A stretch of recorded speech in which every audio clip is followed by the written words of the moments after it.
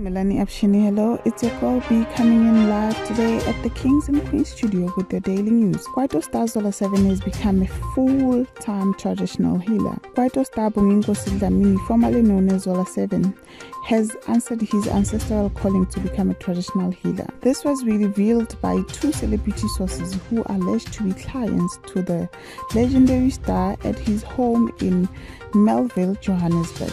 Zola 7, who has been struggling with ill health for three years, which resulted in his inability to walk at some stage in 2019. Although the traditional aspect of his life has been an issue, he is currently dealing with them and moving forward one step at a time. Um, he has also added by saying he will be launching the Zola 7 Kuluva Foundation this week. And that's all we have for today. Signing out from the Kings and Queens studio. It's your girl Guys, please remember to subscribe, share, and like. Remember, kings and queens all the way. Much love, guys. Bye.